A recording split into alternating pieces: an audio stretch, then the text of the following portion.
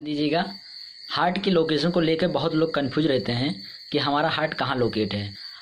मैं दोस्तों आपको बता देता हूँ, हमारा हार्ट जो होता है, वो बिल्कुल सेंटर पे होता है स्टर्नम के जस्ट नीचे एंड दोनों लंग्स के बीच में। बट जो हमारा लेफ़्ट लंग्स है, बायां लंग जो फेफड़ा है, उसमें एक नोच पाया जाता है, जिसको बोलते हैं कार्डियक नोच और कार्डियक नोच इसी लंग हार्ट की वजह से पड़ा है, क्योंकि वहाँ पर वो उस तरह खाँच बन जाती है, उसे बोलते कार्डियक नोच वहाँ पर हमारा जो हमारा हार्ट जो है ना, ऐसे आप देख रहे हैं, ये हमारा हार्ट उसी तरफ़ बेंड कर जाता है लेफ़्ट साइड की तरफ़।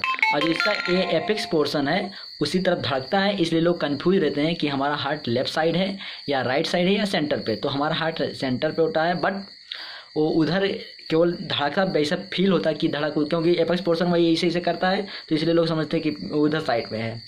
इसलिए आपको हम ऐसे पीस भी बताएँगे जिनका हार्ट राइट साइड की तरफ़ बेंड कर जाता है तो उनका लेफ़्ट बेंडिंग जो राइट की तरफ़ हो जाता है, उसकी वजह से उधर थोड़ा लगता है कि राइट तरफ़ धड़क रहा है। लेकिन ऐसा नहीं है।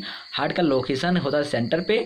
उसके बेंडिंग के हिसाब से हम कह सकते हैं कि राइट है या लेफ़्ट है, लेकिन लोकेशन उसका सेंटर पे है।